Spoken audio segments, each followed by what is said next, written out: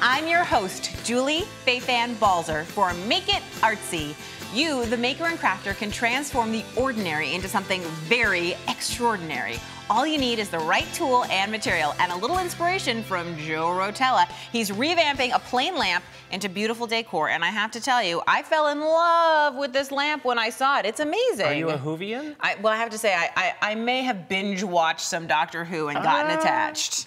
So that started as a plain lamp pole, and then we transformed it with foam, chipboard, and paint, basic art supplies. It's so cool, and I and I actually I thought it was wood when I walked up to it, and then of course I touched it, and it's light. It's quite light. It's kind of cool, and you have so many other things that you've sort of magically transformed. Will you take us through? I will. So we started over there. That's phenolic foam that comes in all kinds of different shapes. It's easy to cut, and it paints just like wood. So we glued pieces together to make a clock and to make that little face, the little holder with test tubes in it. I think this is such a clever idea for flowers, and I like how you have like the seashell collection. You could do almost a whole memory scape. Yeah, do you know cool. what I mean of what you're doing?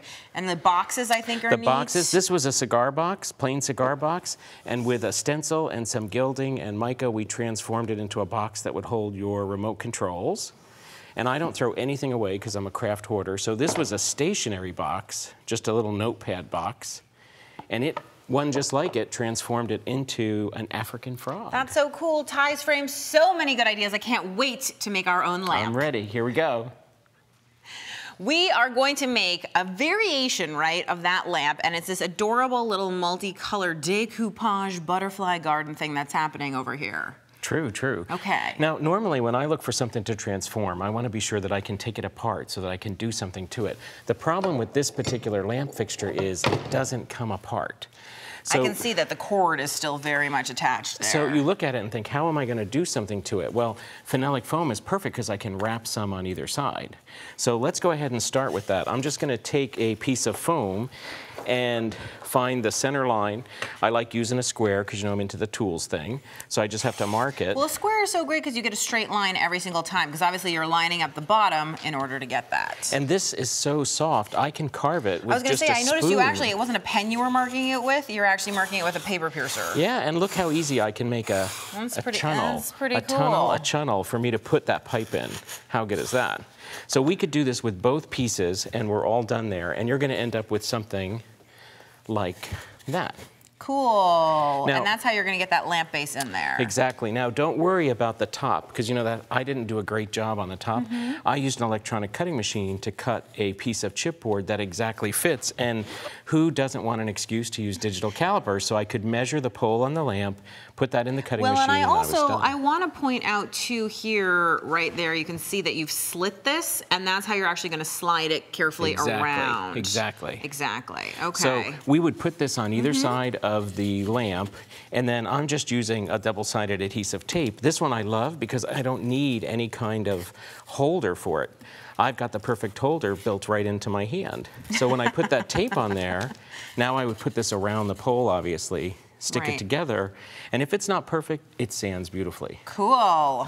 So let's work on some smaller pieces just so we have some room on the tabletop. This is the same material, phenolic foam. Now I want to point out that one of the things we're doing is we're working on a tabletop with a single piece just so that it's easy for people to see. But normally I know you have this lazy Susan here, and that's how you would sort of access your project as exactly, you were working. Exactly, exactly. and, be, and I wouldn't put that foam all the way to the base. Put a sheet of stiff wax paper on it, but then I can turn it. When I'm all done, just pull the paper out and I don't get the base dirty. Perfect. So we start with this phenolic foam. Now I know I'm going to collage on it some very, very fine materials, napkins.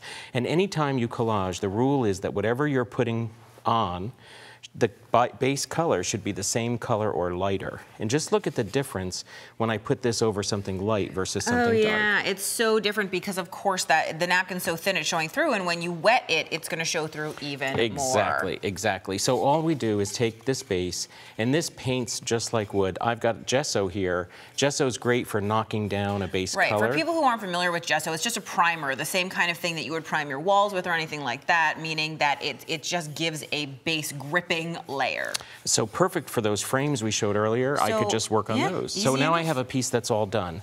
Let's talk about working with a napkin. Most napkins in the US are three or four plies. We only want the very topmost ply. So here's a tip. Take a little piece of masking tape, a place that you don't care about, like that logo, put it on here and here, and pull, one ply's gone. I've, I've never seen a napkin come apart so easily. I'm usually there with my fingernail desperately trying to get under that layer. There you go. And I, I know I'm terrible, but I save these because I can collage these to make texture. Yeah, not only that, but I was going to say this napkin even happens to have a little extra pattern on it underneath in the How second cool is layer, which is pretty cool. Now, I'd never cut my images with scissors because you're going to get a very harsh line. Instead, water cut it. Just take a detail brush, dip it in a little water, go around the image that you want, and you'll water see where cutting, the that's a great way of putting it. I've never heard of that. People usually call it, call it tearing or something like that, but water cutting is a great way to think about it in terms of you can actually be surprisingly precise. I mean, you are managing to get right around that butterfly with that nice, soft decal exactly, edge. Exactly, and I like that decal edge. So now let's take this, and this has already been gessoed. I've got one here. Typically, I wouldn't collage with any pieces bigger than maybe a 50 cent piece. I have this one massive piece. Why, why is that?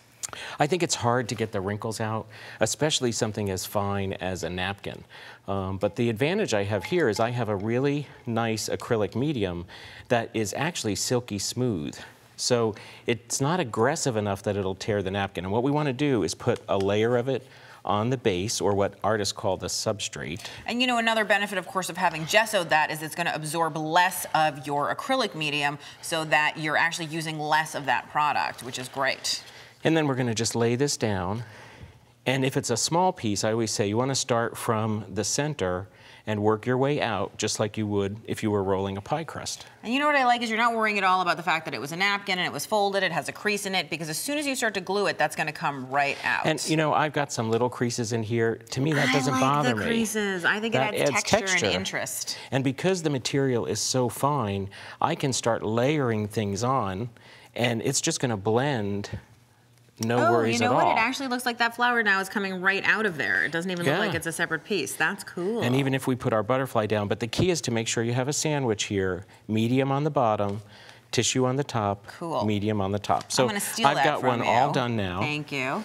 And I've got a piece that's already been collaged. And if we want to brighten that up, I'm working on a piece of very thick, stiff waxed paper. And I know you have one that's actually already done, that already has the paint on it. And if you can hold it up so we can see the differences, Look at that the would difference. be great. I think the thing, the place where I really see it is right here with the green paint versus here, it's a little oh. plainer. And don't worry about being, I can't draw, I can't paint.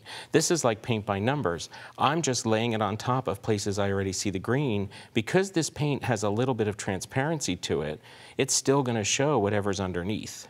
And yet it really brightens up that whole piece. I love that idea. What's next? What's next is I wanted to add some gilded butterflies. Yay, shiny. Shiny. So what I have is a double-sided adhesive paper, and I've drawn butterflies on it, and all we have to do is lift off the top layer, And I think this is such a cool idea, and you could easily do this with so many different And shapes that if you, you like. hand me the gilding, that little box, I keep that gilding in that big box for a couple reasons. It's very deep. Mm-hmm. Never use this with a ceiling fan, a cat.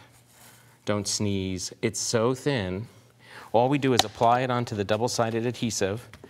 And then the reason I like that big container, if you open it back up again, Yep. I can burnish, and burnish is a cool verb. It means to apply and remove at the same time. So when I'm done, I close up the lid, I've saved all that good goodness, and now I have a gilded butterfly. It's so beautiful. I love it. And it even has a little bit of extra texture. And if we look back at the finished lamp, which I think is absolutely beautiful, we can see how it all comes together so that you have a floral garden with some shiny butterflies. It's just absolutely stunning. And you can, of course, suit it to fit whatever you would like.